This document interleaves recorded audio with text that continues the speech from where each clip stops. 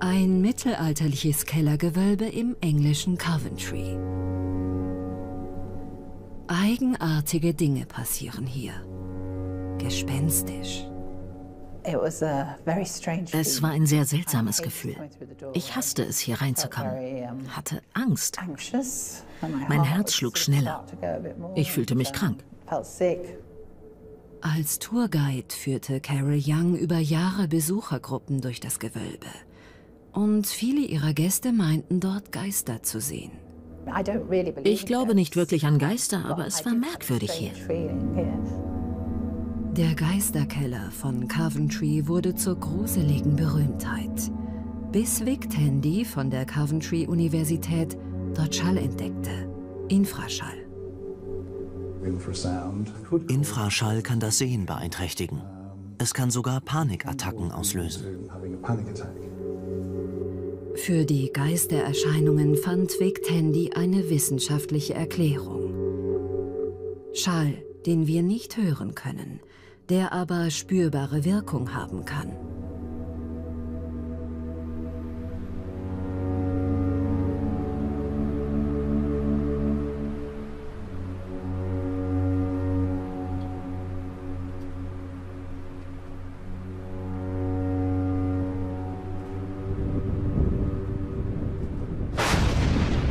Infraschall entsteht, wo große Massen in Bewegung sind. Das passiert in der Natur, etwa bei Lawinen und Erdbeben.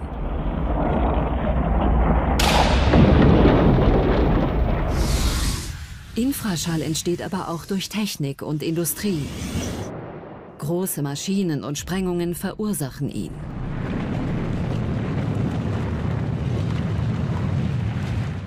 Selbst Windkraftanlagen erzeugen Infraschall, wann immer ihre Rotoren sich drehen. Im dicht besiedelten Deutschland, wo Windparks bis an Wohnsiedlungen heranreichen, rauben sie vielen Menschen den Schlaf. Am schlimmsten ist es, wenn ich nachts äh, ruhig im Bett liege. Nach fünf bis zehn Minuten merke ich, dass mir schwindelig wird, dass der Herzrasen beginnt, dass ähm, der Tinnitus setzt wieder massiv ein dann und, und teilweise auch so ein enge Gefühl und Druck. Insa Bock und Hermann Oldewurtel leben in Ostfriesland nahe der Stadt Esens. Kaum 700 Meter vom Wohnhaus und ihrer Firma entfernt steht ein Windpark. Mit ein paar Dutzend Windkrafträdern. Die Anlagen arbeiten bereits bei geringen Windstärken. Sie laufen praktisch Tag und Nacht. Wenn man hier vier, fünf Tage schläft, das ist, als wenn man eine Woche durchgetrunken hätte. Das ist schlimm. Man hat Aussetzer, man hat äh, wirklich komplette Aussetzer. Ich habe das am Telefon schon gehabt. Das gibt's doch nicht. So, bin ich unterwegs und ein paar Tage hier weg, bin ich wieder topfit. Zunächst war nicht klar, woher all die Beschwerden kamen. Der Windpark schien als Ursache ausgeschlossen. Denn Windkraftanlagen gibt es hier seit mehr als 20 Jahren. Bis wir gemerkt haben, dass, äh, dass unsere Beschwerden von der Windkraft kommen, das hat ja auch gedauert. Wir haben es ja selber zu Anfang nicht geglaubt. Ähm, wir hatten immer so einen kleinen Windpark vor der Tür, also mit äh, 52 Anlagen. Die haben wir zwar so als lästig und laut empfunden und die haben natürlich auch ähm, im hörbaren Bereich auch mal richtig Lärm gemacht, aber es war nicht so, dass wir uns äh, krank fühlten dadurch. Ähnlich wie bei anderen Anrainern von Windparks traten bei Insa Bock und Hermann Oldewurtel die Probleme mit dem sogenannten Repowering auf dem Austausch kleiner Windenergieanlagen gegen größere, leistungsfähigere Modelle. Eine Entwicklung, die das Umweltbundesamt im Zuge der Energiewende begrüßt. Hinsichtlich des Infraschalls von Windenergieanlagen ist man hier allerdings wenig besorgt. Man beruft sich dabei gerne auf Messungen, die in Baden-Württemberg durchgeführt worden sind. Diese Messungen zeigten halt, dass bei der Bebauungssituation, wenn man davon ausgeht, etwa 700 Meter Abstand zwischen der Wohnbebauung auf der einen Seite und der äh, Windenergieanlage hat, dass dieses äh, Infraschallgeräusch im Hintergrundgeräusch aus äh, untergeht. Das heißt, der ganze normale Geräuschpegel entsteht, ohne dass Sie spezielle Merkmale eines Infraschallgeräuschs dort herausfiltern können. Das heißt, wie hier auch grafisch dargestellt, Ab einem Abstand von 700 Metern ist der Infraschall von Windenergieanlagen, hier in Rot, nicht mehr vom Infraschall des allgemeinen Hintergrunds, in Grün, zu unterscheiden. Die rote Kurve hat keine Ausschläge nach oben, keine Spitzen.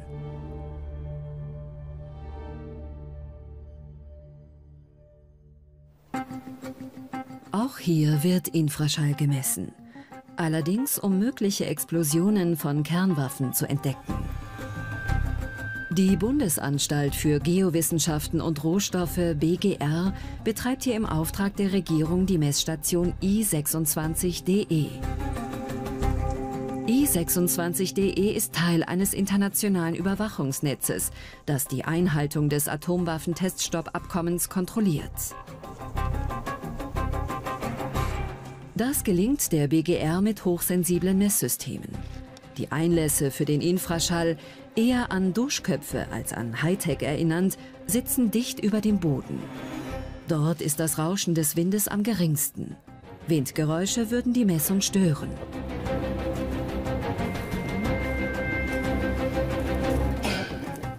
Das Herz des Messsystems befindet sich einige Meter unter der Erde.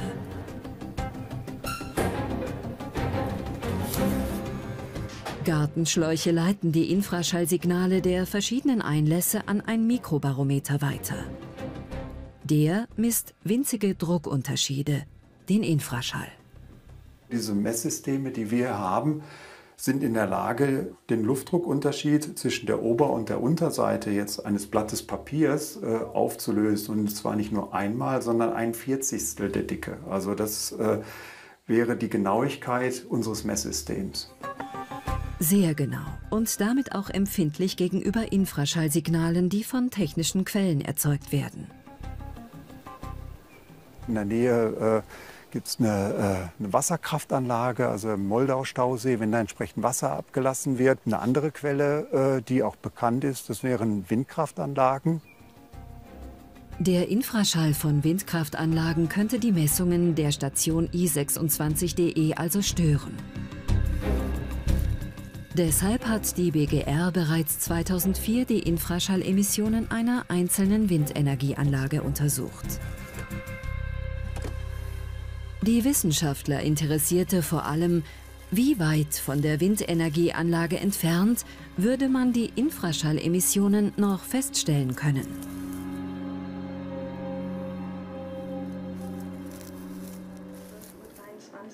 Die Daten wurden im Nationalen Datenzentrum der BGR analysiert. Lars Zerranna schaute sich das Frequenzspektrum an. Was wir sehen, ist, dass wir mit unseren Infraschallsensoren bei tiefen Frequenzen sehr klare Signale äh, von diesem Windrad sehen. Und zwar jedes Mal, wenn der Flügel den Turm passiert, werd, werden Luftpakete zusammengedrückt und geschert. Und dieses äh, Signal erzeugt eine Infraschallsignatur. Man spricht so äh, von den sogenannten Flügelharmonischen. Die Flügelharmonischen der Windkraftanlage sind einzelne Frequenzen.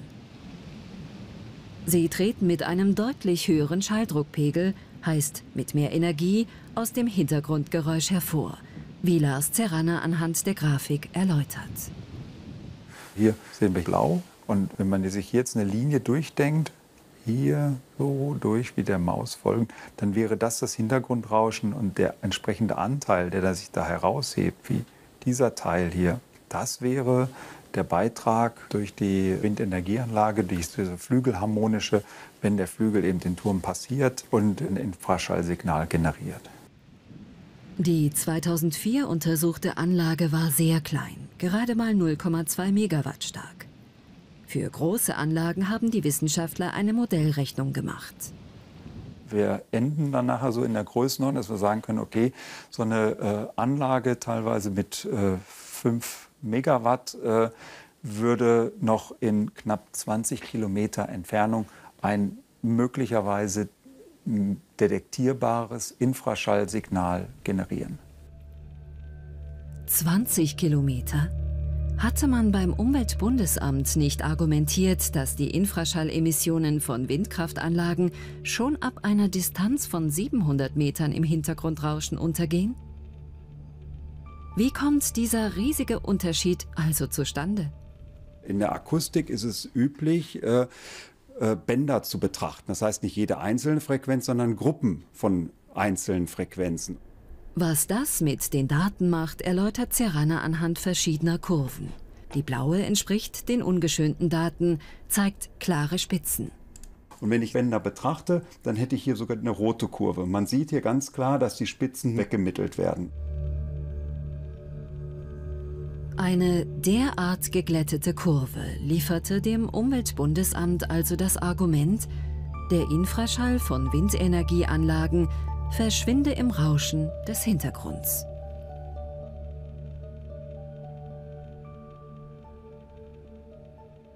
Zurück in Ostfriesland. Das Haus von Insa Bock und Hermann Oldewurtel ist ihr Wohnort und Arbeitsplatz. Verkaufen kommt deshalb nicht in Frage. Zwar hatten die zuständigen Behörden zunächst versprochen, Messungen durchzuführen, doch dann die Absage. Und da wurde uns mitgeteilt, dass es nicht möglich gewesen wäre, in der Zeit die Messungen zu machen, weil die Windrichtung und äh, die Windstärken nicht stimmten. Von den Behörden im Stich gelassen, haben sie also Selbstmessungen in Auftrag gegeben. Der Gutachter Sven Johansen führt sie aus. Zum Einsatz kommt unter anderem ein Vibrationssensor.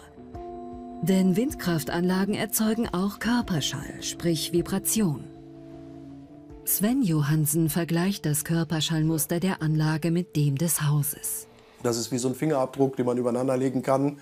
Und daran sieht man oder kann auch nachweisen, dass dann durch die Quelle das ausgelöst worden ist, äh, die man da im Verdacht hat. In dem Fall hier die Windkraftanlagen. Ja. Mikrofone messen den Außen- und Innenbereich. Ein Mikrobarometer registriert winzige Luftdruckschwankungen. Alle Geräte werden synchronisiert, zeichnen Infraschall und Körperschall, die Vibrationen also, gleichzeitig auf.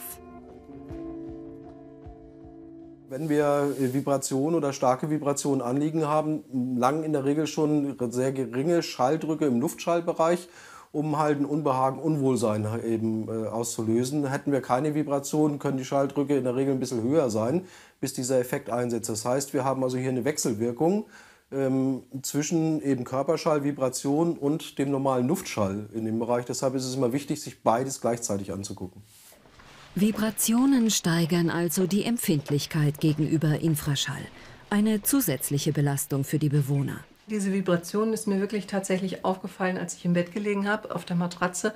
Und es kam so ein seltsames, überkam mich ein seltsames Gefühl. Ich denke, das kann jetzt irgendwie nicht sein. Das ist ganz merkwürdig. Und dann im Dämmerlicht habe ich dann wirklich gesehen, wie sich die Matratze um deutlich mehrere Zentimeter bewegt hat. Und wenn dieses Brummen und Summen, so wie so im Bienenkäfig, auftritt, dann braucht man auch nur an die Hauswand die Hand legen.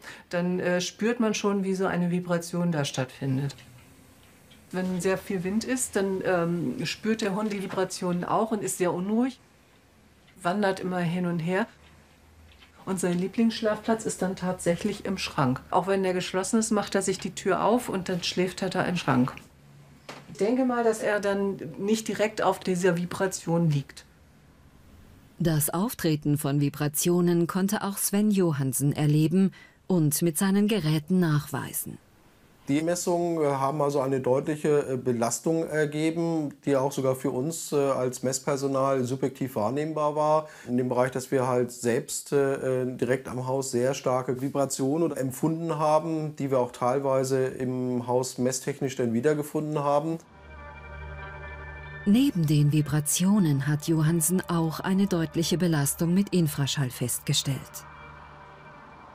Da waren also schon sehr äh, hohe Werte im äh, Infraschallbereich, auch innenräumig hier feststellbar, teilweise eben lauter oder höher äh, vom Schalldruckpegel als im Außenbereich äh, eben zu messen gewesen sind. Ja.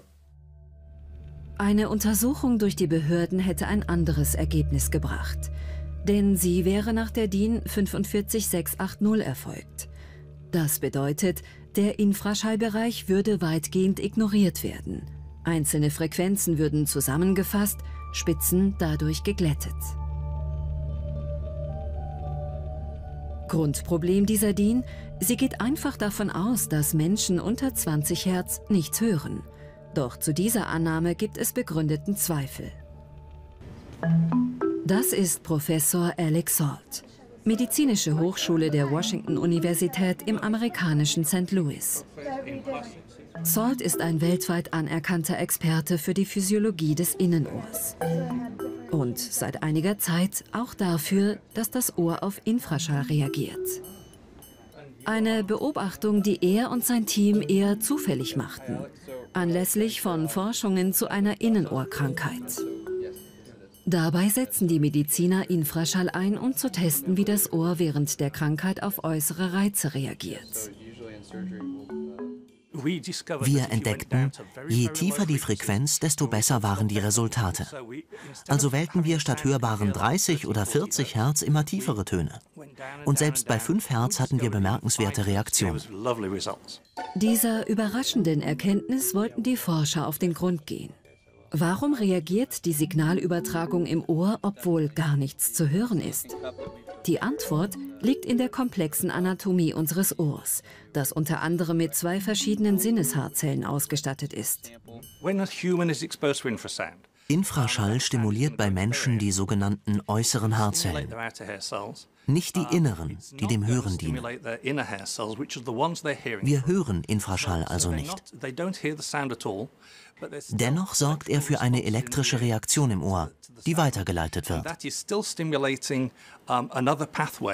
Salts Erkenntnisse beruhen auf eigenen Beobachtungen und intensiver Fachliteraturrecherche und gelten unter Kollegen als unumstritten. Ganz anders außerhalb der Wissenschaftswelt. Die Berater der Windkraftindustrie lehnen die Studie komplett ab. Seit Jahren schon machen sie uns das Leben schwer und müllen uns zu mit Klageschriften. Dies und jenes wäre nicht möglich. Obgleich Wissenschaftler anderer Meinung sind. Ich befürchte, das alles hat mit Voreingenommenheit und Geld zu tun. It's all to do with bias and money, I'm afraid. Für Professor Salt sind die wissenschaftlichen Fragen über Infraschall und menschliche Wahrnehmung längst noch nicht in Gänze geklärt. Und deshalb hält es der Mediziner auch für wichtig, sich diesen mehr zu widmen. Genau das passiert am Universitätsklinikum Eppendorf in Hamburg. Hat Infraschall einen Effekt auf den Schlaf und die geistigen Fähigkeiten von Menschen? Ein Experiment soll das klären. Dazu bringt die klinische Psychologin Leonie Ascone Lautsprecherboxen in die Schlafräume freiwilliger Testpersonen. Die Probanden aus der Infraschalltestgruppe werden vier Wochen lang den tieffrequenten Tönen ausgesetzt.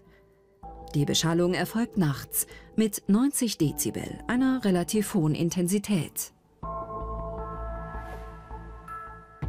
Jeweils vor und nach der Versuchsphase werden die Probanden aufwendigen Prüfungen unterzogen. Einem Hörtest etwa. Die Reaktionszeit wird erfasst. Das alles soll zeigen, was eine vierwöchige Beschallung mit Infraschall mit den Testpersonen macht. Du schaffst Ja, dann geht's los. Diese Studie ist die Fortsetzung eines früheren Experiments. Damals hatten die Wissenschaftlerin Simone Kühn und ihre Kollegen Probanden kurzzeitige Infraschallsignale unterhalb der Hörschwelle dargeboten. Also Schall, den die Testpersonen nicht hörten. Angeschaut hatten die Wissenschaftler, was sich im Hirn abspielt. Wir haben interessanterweise gesehen, dass eben die Kondition, in der der Infraschall nah an der Hörschwelle gezeigt wird, irgendwie besonders ist und haben da stärkere Aktivierungen gefunden im sogenannten anterioren Cingulum. Ähm, das ist eine Region im Hirn, die vor allen Dingen was mit Konfliktverarbeitung zu tun hat. Und in der rechten Amygdala, das ist eine Region, die mit Stressverarbeitung in Verbindung gebracht worden ist. Infraschall aktiviert also ausgerechnet Gehirnregionen, die normalerweise Stress verarbeiten. Wieso, ist noch nicht klar.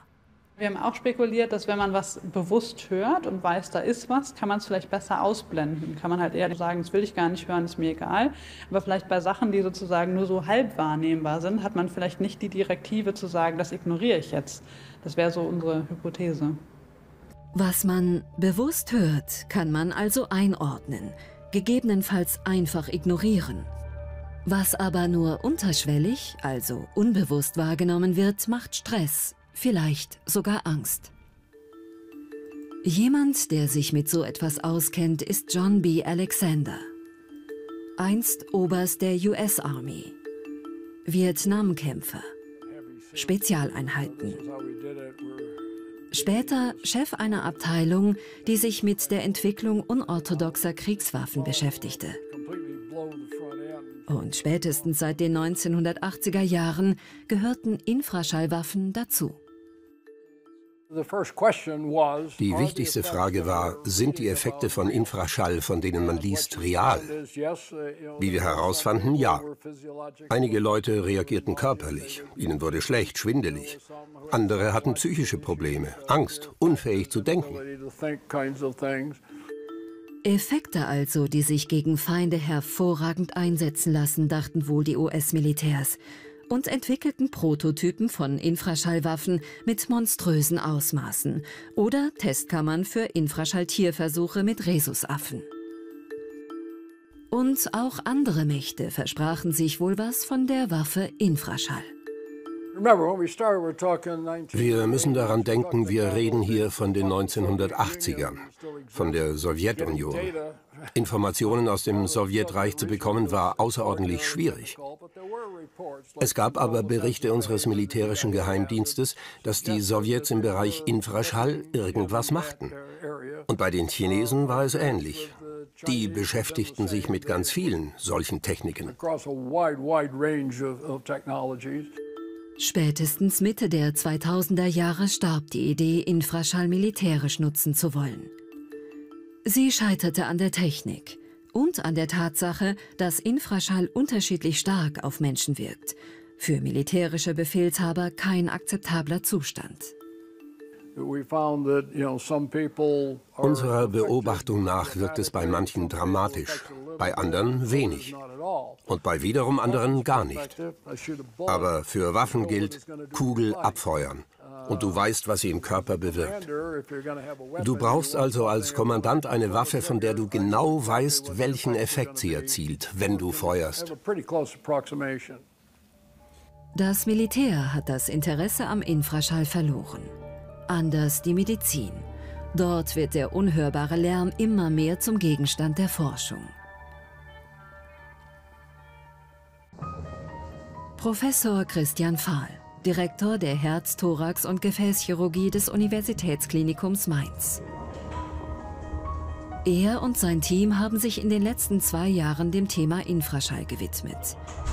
Es geht um akute Effekte, Untersucht werden menschliche Herzmuskelfasern. Für das Experiment werden jeweils zwei Fasern desselben Patienten isoliert. Die nur wenige Millimeter messenden Präparate sind noch am Leben. Sie werden in zwei identische Apparaturen eingespannt. Eine dient zur Kontrolle. Die zweite wird eine Stunde lang einer Frequenz von 16 Hertz, also Infraschall, ausgesetzt. Gemessen wird, wie sich die Kraft der Herzmuskelfaser unter dem Einfluss von Infraschall verändert. Es ist bereits die dritte Versuchsreihe dieser Arbeitsgruppe. Zwei frühere hat sie inzwischen abgeschlossen.